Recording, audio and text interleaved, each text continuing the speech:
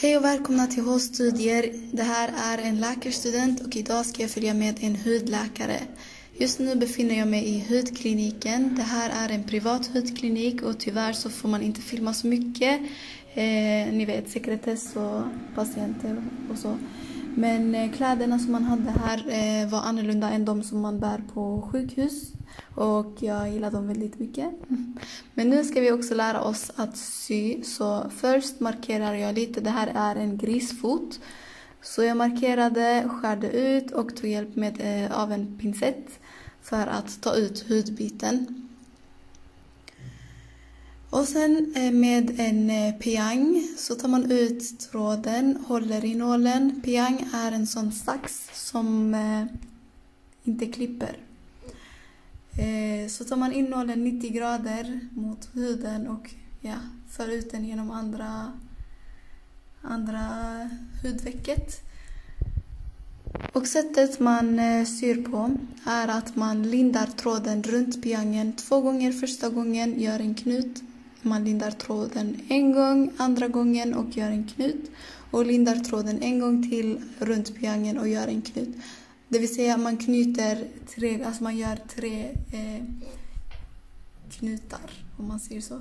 Sen här så visar jag att man bedövar såklart huden runt omkring eh, för att patienten inte ska ha en dålig upplevelse av operationen. Och såklart, beroende på vart man syr på huden, till exempel om det är ansiktet eller på händerna, alltså handflatan, så använder man olika tjocklek på trådarna.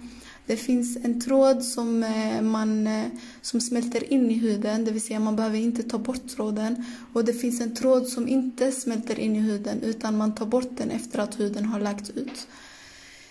Eh, I ansiktet använder man en tunnare tråd så att eh, det läggs ut finare och ärren blir typ mindre.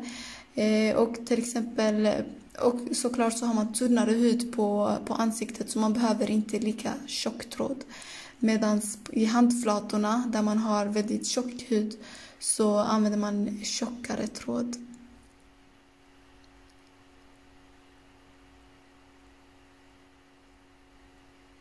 Det var faktiskt jättekul att sy. Och här kommer hudläkaren och kollar på mina stygn och såklart så såg de jättefina ut. Helt stolt. Men eh, det var väldigt kul. Och nu så river vi lite och på, på huden. Och här så tar vi en eh, biopsi, det vill säga eh, vävnadsprov. Och det var väldigt enkelt, enkla metoder att utföra. Eh, och sen så finns det en till metod som vi också lärde oss och det var att frysa. Här ser ni att jag fryste. Det gick väldigt snabbt. Det här är kväve och såklart råkade jag skrämma gruppen.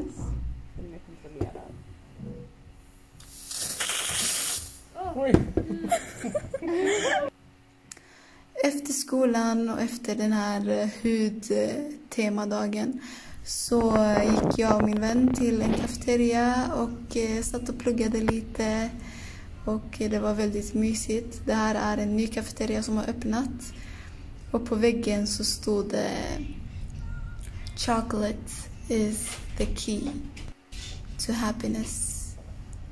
Och det var allt. Tack så mycket.